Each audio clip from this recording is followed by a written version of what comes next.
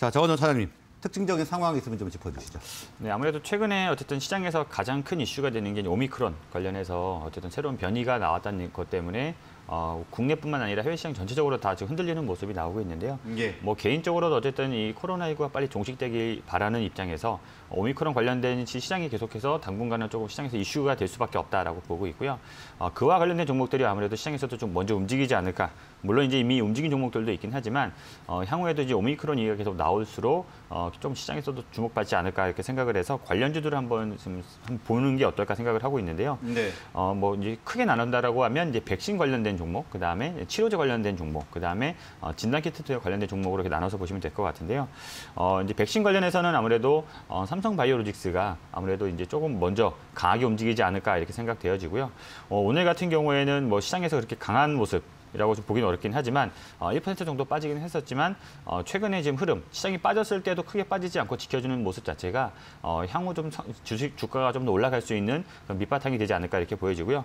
어, 삼성바이오로직스 같은 경우에는 이제 다른 경쟁사 대비해서 백신 치료제나 이런 거 관련해서도 어, validation 능력이 좀 경쟁력이 있기 때문에 어, 향후 이제 국내 글로벌, 아, 그러니까 국내외 어, 글로벌 이제 big pharma들도 어쨌든 계속해서 삼성바이오로직스와 어, 계약이나 수주가 계속 된다라고 보시면 될 것 같고요.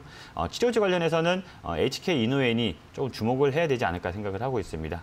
어, 이 머크와 이제 협력사를 관계가 유지되고 있는 그런 회사인데 어, 아무래도 이제 머크에서 나온 어, 코로나19 이제 경구용 치료제에 관련해서 만약에 국내에도 이제 들어온다라고 하면 어, HK 이노엔이 이거를 조금 국내 유통을 담당하지 않을까라는 기대감 때문에 어, 시장에서 조금 더 움직이지 않을까 이렇게 생각을 하고 있습니다. 어, 물론 이제 아직 확정된 건 아니지만 어, 만약에 이 머크에 이제 경구용 치료제가 들어온다라고 하면 아무래도 제일 이 가능성이 높은 게 유통 가능성 높은 게 어, HK 이노엔이 아닐까 이렇게 생각되어지고요.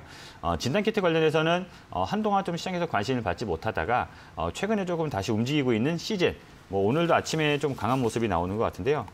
어, 시젠 같은 경우 제가 봤을 때는 이 다른 회사와 좀 다르게 어, 진단 키트 자체는 시장이 좀이 진입 비용이 좀 낮아지긴 했었지만 어, 기술력이나 이런 거 봤었을 때는 어, 가장 높은 회사가 기술력이 좋은 회사이기 때문에 어, 이 오미크론 관련해서도 이제 이 추출할 수 있는 그런 능력이 지금 가장 먼저 나오지 않을까 이렇게 생각되는 회사이기 때문에 어, 시장에서도 먼저 움직이는 모습이 나온다라고 생각을 하고 있습니다.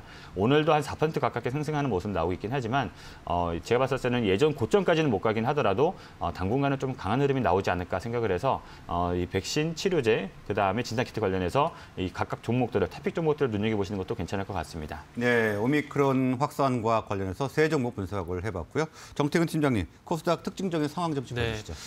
일단은 뭐 코스닥 특징적인 상황은 그 차장님께서도 언급을 해주셨지만은 전반적으로 코로나 테마가 전반적으로 강세고요. 그리고 또 반대로는 지금 소위 말하는 컨텐츠 관련주라고 할 수 있는 모바일 게임이라든지 그리고 어, 영상 컨텐츠 종목들이 현재 전반적으로 큰 폭으로 좀 하락이 나오고 있다는 부분들이 특징을 좀 볼 수가 있을 것 같습니다. 일단 어쨌든 최근에 코스닥 분위기를 상당히 좋게 만들었던 업종 그리고 섹터가 방금 말씀드렸듯이 컨텐츠 관련된 종목들입니다. 잘 아시다시피 모바일 게임 같은 경우는 NFT라든지 메타버스 이슈가 반영이 되게 되면서 상당히 강한 시세가 나왔었고요. 그 강한 시세 영향으로 해서 코스닥 시장이 상당히 좀 견조했었는데 이 테마가 좀 식어버리게 되면서 조금은 코스닥의 어떤 변동성이 커지고 있습니다. 그래서 모바일 게임 섹터 같은 경우도 지금 현재 위메이드 맥스가 11%가량 급락이 나오고 있고요. 그리고 게임빌이 7%, 위메이드가 6%, 6% 컴투스가 5%가량 현재 하락이 나오고 있는 부분들이 있습니다. 그래서 여기서 낙폭이 좀더 확대가 되게 된다면은 아마 코스닥도 좀 쉽지 않을 것 같은데 조금은 이 변동성이 좀 확대가 되는지 한번 봐야 될 것 같고요. 어, 소위 말하는 영상 컨텐츠 같은 경우도 팬엔터테인먼트가 5% 상승을 제외하고는 현재 NEW라든지, 위지윅 스튜디오, 스튜디오 산타클로스, SM, 자이언트스텝, SM 같은 경우는 전일 외국인 매수가 있었음에도 불구하고 오늘 3% 넘게 하락을 하고 있고요. 그래서 지금 방금 말씀드린 영상 컨텐츠 관련된 업종 섹터 같은 경우에도 3% 넘게 하락을 하고 있는 상황이기 때문에 어쨌든 2차 전지 소재가 식어버리게 되면서 메타버스 NFT 쪽으로 옮겨갔고요. 그러면 이제 중요한 건 메타버스 NFT를 이어받을 다음 주자가 또 어떤 테마가 될지가 좀 관건이 될 것 같은데 이 어쨌든 이 컨텐츠가 좀 식어버리게 되면서 어떤 다음 테마가 좀 빠르게 좀 추진을 했으면 좋겠다라는 개인적인 얘기도 좀 말씀드려보고 싶고요. 어쨌든 이 컨텐츠 관련 섹터가 식어버리게 되면은 조금 코스닥 시장에 악영향이 있을 것 같다는 말씀 좀 드려야 될 것 같고요.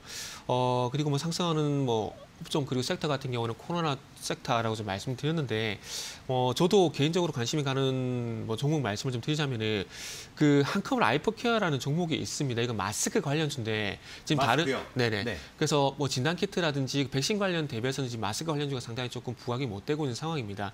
그래서 작년 같은 경우는 오공이라든지 웰크론 같은 마스크 관련주가 반짝 반등이 있었는데 한컴 라이프케어 같은 경우는 최근에 상장을 했습니다. 그래서 올해 8월 달에 상장을 하다 보니까 그동안 좀 부각이 안 됐었는데 이 회사 같은 경우는 어, 한컴 헬스케어라는 자회사를 통해서 오트웨어 어, 퓨라이스라는 그 브랜드로 마스크를 현재 출시하고 있는 상황입니다. 그래서 최근에 어쨌든 이 변동성 장세에서 좀 안정적인 어, 바닥 탈출 흐름이 나오고 있는 상황이기 때문에 한번 관심을 가져보면 좋지 않을까 생각이 들고요. 그리고 머크뿐만 아니라 화이자 어떤 치료제 관련 종목들도 한번 관심을 가져보면 좋지 않을까라는 말씀 드리고 싶고 그리고 앞으로 조금 짧게 말씀드리겠습니다. 앞으로 좀 기대가 되는 섹터가 될까요? 5G 같은 경우도 최근에 좀 바닥에서 좀 돌아서는 흐름들이 좀 나오고 있는데 뭐 HFR 같은 경우는 시세가 상당히 좀 강합니다. 그런데 뭐 RFHIC라든지 RF 머티리얼즈 같은 종목들은 이제 바닥에서 좀 돌아서는 흐름들이 나타나고 있기 때문에 한번 관심을 가져보면 좋지 않을까 생각이 들고요. 좀 시장이 좀 안정을 찾게 된다라면은 아마 좀 안정적인 우상향이 나올 것 같습니다. 그래서 뭐 버라이즌 향 어떤 매출도 있고요. 그리고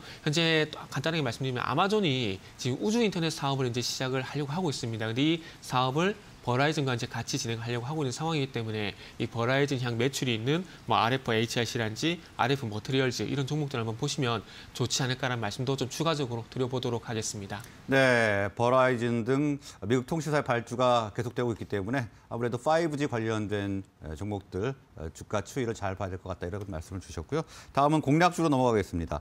정원정 차장님, 오늘 관심주 좀 부탁드립니다. 네, 제가 오늘 가지고 온 종목은 이제 BH라는 종목을 가지고 와봤고요. 어, BH 같은 경우는 이제 이 반도체 부품을 만드는 회사다라고 생각하시면 될 것 같습니다. 어, 주력 제품이 이제 아, 그 RF PCB라는 그런 제품을 좀 판, 제조해서 판매한다고 보시면 될 것 같은데요. 어, 최근에 좀 어떻게 보면 조금 이 향후에 내년에 좀 성장할 수 있는 그런 계기 중에 하나가 가장 큰 경쟁사라고 할 수 있는 삼성전기가 올해까지만 이제 RF PCB를 생산을 하고 내년부터는 좀 중단한다는 얘기가 지금 발표를 했는데요. 네. 그것 때문에 아무래도 이제 삼성전기의 물량을 다 가져올 수는 없긴 하겠지만 어쨌든 일정 부분이라도 가져온다라고 하면 어, 매출 증대 및 어, 실적에 상당히 좀 개선이 될 수 있다라고 생각을 하고 있고 어, 거기에다가 이제 최근에 계속 나오고 있는 이제 폴더블 스마트폰 관련해서도 어, RF PCB가 출하가 계속 확대되고 있기 때문에 이쪽 부분에서도 매출이 늘어날 수 있다. 거기에다가 어, 전기 차 FPCB 쪽도 어, 캐파가 계속 증대가 되고 있기 때문에 어, 향후 이제 매출이 계속 늘어날 수밖에 없다라고 생각을 하고 있고요. 이렇게 이제 기존에 하던 사업부 말고 이제 신사업에서도 어, 5G 안테나 케이블 매출도 계속해서 늘어나는 그런 흐름이 나오고 있기 때문에 기존에 잘 하던 어, 본업 그다가 어, 새롭게 하는 신사업까지 매출이 늘어난다라고 하면 어, 실적이 좀 크게 좋아질 수밖에 없다라고 생각을 하고 있고 어, 그렇기 때문에 실적 흐름을 지금 예상해서 어, 리포트를 본다라고 하면 어, 2020년 대비해서 올해는 좀 그 실적이 많이 안 좋아졌습니다. 그러니까 올해가 아니라 지난해 실적이 많이 꺾였었습니다. 어, 19년 대비해서 지난해 실적이 거의 50% 정도 영업이익이 급감을 했는데 올해는 다시 이제 기존의 실적을 다시 회복하는 그런 모습이 나오면서 올해 영업이익 한 650억 정도 예상을 하고 있고요. 어, 내년에는 올해 이 고성장 대비해서 내년에도 고성장이 지속되면서 내년에는 한 1,200억 정도 영업이익이 나올 것이다라고 보고 있기 때문에 어, 현재 주가는 어, 상당히 매력적인 구간이다라고 생각을 하고 있습니다. 거기에다가 외국인과 기관이 어, 최근에 약간 계속해서 양매수해지는 그런 흐름이 나오면서 어, 최근에 좀 주가가 좀 강한 흐름은 어, 실적에 대한 기대감 거기에다가 어, 수급도 당연히 개선됐다라는 그런 부분 때문에 어, 주가 흐름이 상당히 좋다라고 보여지고요.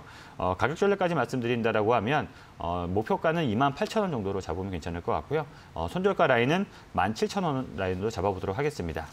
네, 고성장이 예상되고 있는 BH 예, 분석을 해주셨고요. 목표가 2만 8천 원 말씀을 해주셨습니다. 다음은 정태근 팀장님. 네, 어, 오늘 제가 준비한 종목은 롯데케미칼입니다. 네. 어, 최근에 좀 시장 증시 관련돼서 리포트를 좀 참고, 참고를 해보게 되면 저평가 관련 종목에 대해서 관심을 가지는 얘기가 좀 많이 나오는 것 같습니다. 그러다 보니까 어제 시장에서 한번 잘 보시면은 HMM이란지 포스코란지 그리고 롯데케미칼 같은 종목들이 저평가 관련 매수가 상당히 좀 많이 들어왔었는데 일단 소위 말하는 저평가 구간이 많이 퍼 기준으로 봤을 때 저평가 구간이 좀 많이 들어가는 상황입니다. 그래서 롯데케미칼 같은 경우도 PER이 다섯 배로 최근에 많이 좀 저평가가 돼 있는 상황이고요.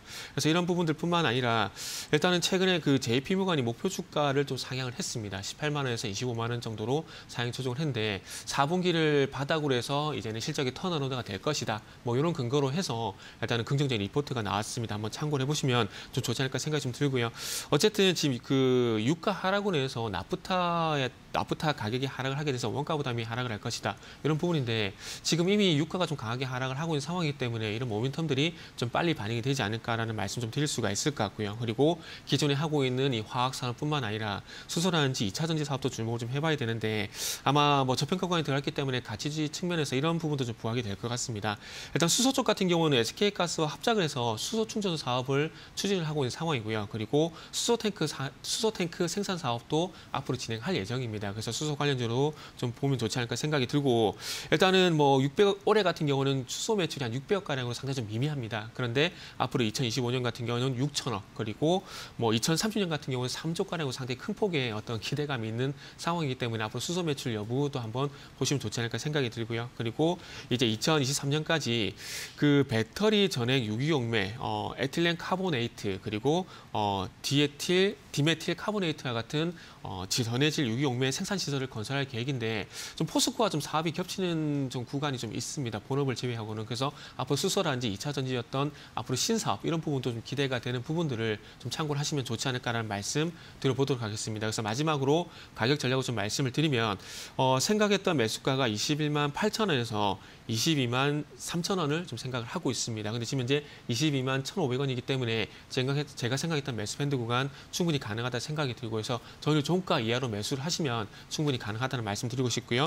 어, 목표가는 일단 단기적으로 10% 정도 내외로 잡았습니다. 25만 5천 원. 그리고 손절가 같은 경우는 21만 원 제시할 수가 있을 것 같습니다. 네, 저평가된 상태에서 JP모건이 목표 주가를 어, 상향 조정한 롯데케미칼 분석을 해주셨습니다. 목표가 25만 5천 원 말씀해 주셨고요. 오늘 말씀은 여기까지 듣겠습니다. 고맙습니다. 네, 감사합니다. 감사합니다. 고맙습니다.